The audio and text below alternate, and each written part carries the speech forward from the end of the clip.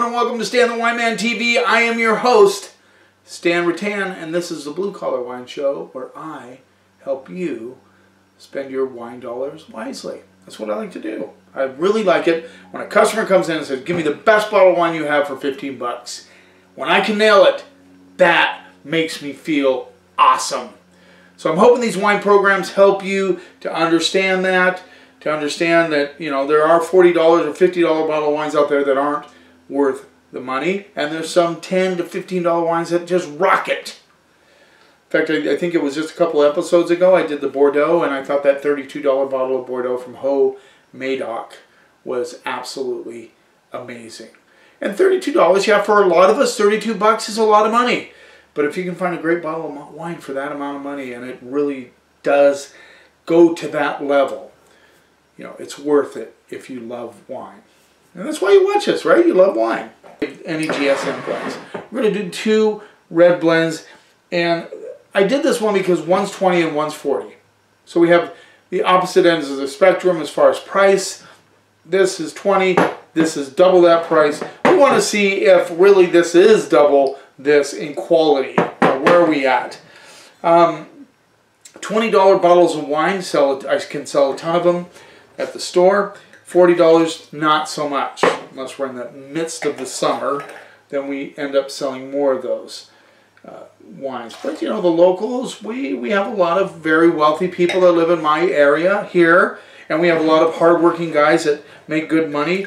But you know, you gotta, you know, it costs a little bit to live in the San Juan Islands. So I'm just saying, sometimes you have to conserve your money. Maybe you don't want to spend that much on a bottle of wine. You want to find something great for less money which people in my community know I can find them. So maybe I've kind of, you know, destroyed that $40 range because I can find some great $20 wines. Just saying.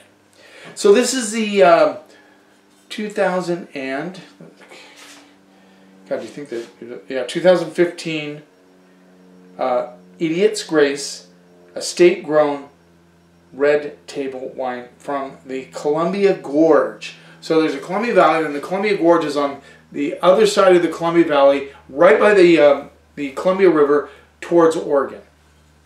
Okay, right across, from very close to Oregon, in fact. This is 34% Sangiovese, 33% Cab Franc, 33% Cabernet Sauvignon. Interesting blend, Sangiovese based. Idiot's Grace. And this is from Memaloose Winery. So Memaloose is a winery, and Idiot's Grace is a, uh, a sub-label that they have.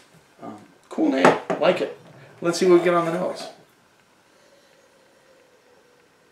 Got right off the bat, I got raspberries and black olives, and and a little bit of green olive. So black olive, green olive, uh, raspberries. There's a little bit of manure coming through underneath, you know, a little bit of uh, horse shit, a little bit of um, uh, cow poop. Get a little bit of black tea and hints of bark. Yeah, interesting nose. Now Sangiovese nose most famous in Chianti. That's where most Chiantis are Sangiovese based. Even Super Tuscans tend to have quite a bit of Sangiovese in them. A little bit of chocolate coming through, so you have this, uh, the poop smells very subtle. You may not catch it. I caught it. A little bit of, um, I love this, a little bit of popcorn kernel coming through as well. Very interesting nose. Let's see what we get on the palate.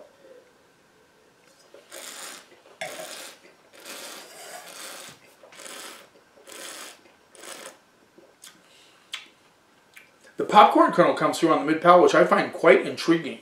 I'm talking about, you know, when you pop, let's say you use an air popper, no oil, just an air popper. You get a little bit of that popcorn kernel flavor. That's coming through with a little bit of chocolate. Um, black raspberries.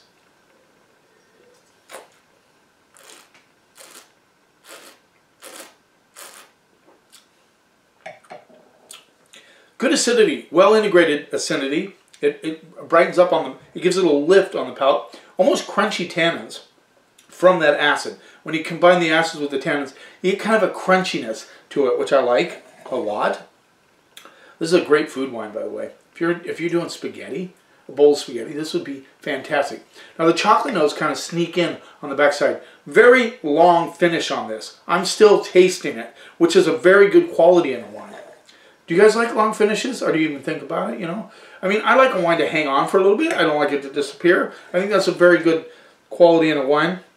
Interesting color. It's fairly dark for a Sangiovese, but that's because it has some cab in it.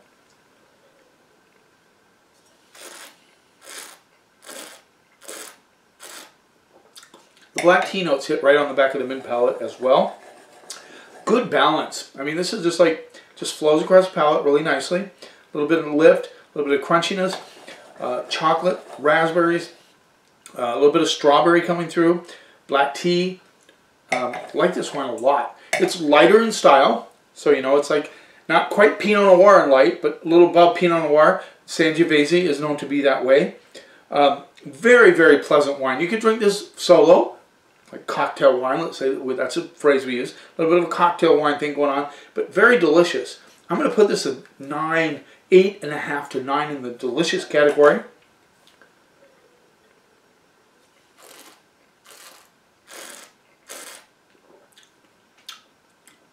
But I love the finish on this.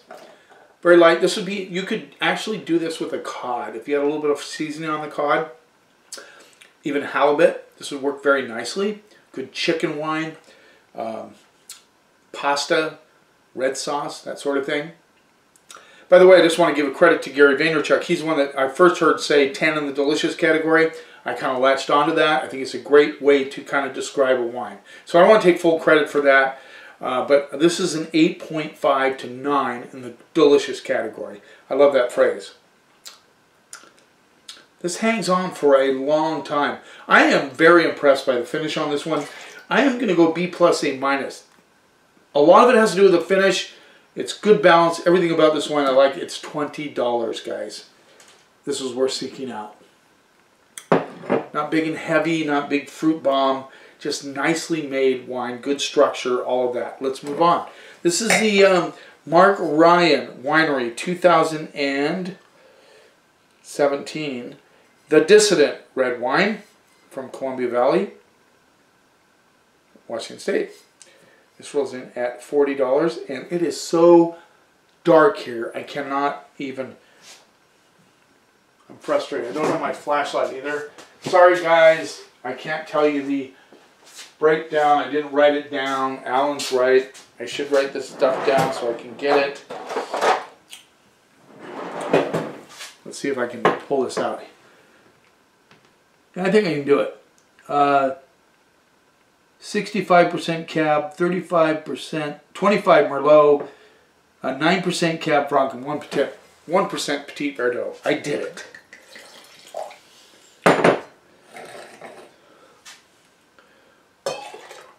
mostly cab. Now remember,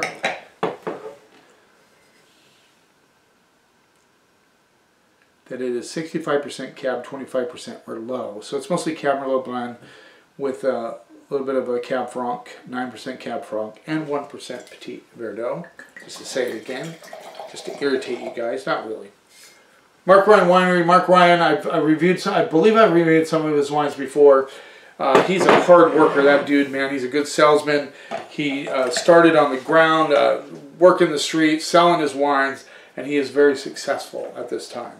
His wines get really high scores by critics, um, so he's he's done a good job. He's really done a good job, and he's a super nice guy. Let's see what we get on the nose.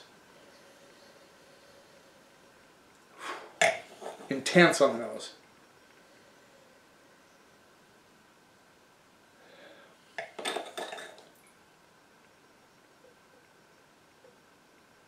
tobacco, currants,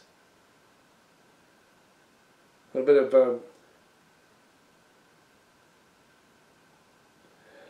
get a little burn, get a little burn, guys, a little bit of burn. Get a little bit of black tea component coming through on that as well.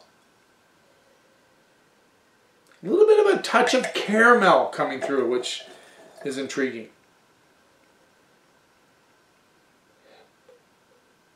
and just a hint of licorice. Let's see what we get on the palate.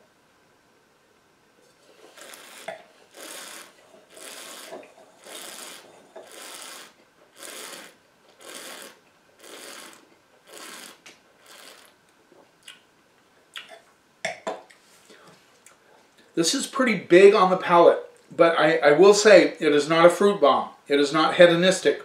It's balanced, but it's big. Big and balanced. Uh, currant notes come through big time, uh, balanced by uh, bark and tobacco notes. Um, a bit of touch of caramel coming through on the backside, but not much.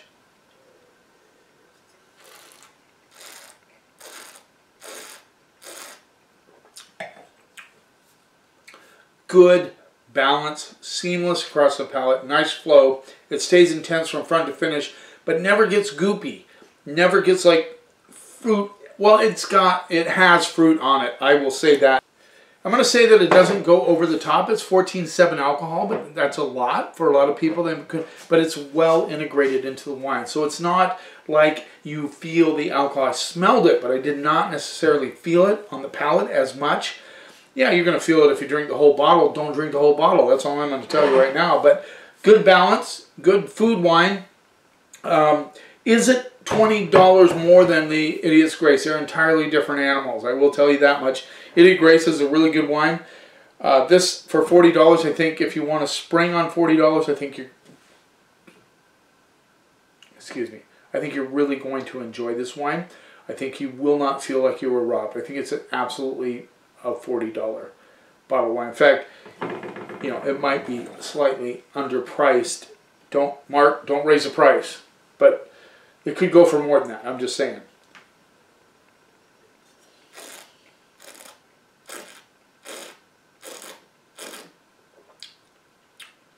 Big without going over the top. That's hard to do. Good acidity. This will age easily 10 years, easily. Tobacco on the back end, I really like that. I'm gonna go. I'm gonna go straight up A minus on that. I think it's a great bottle of wine. Um,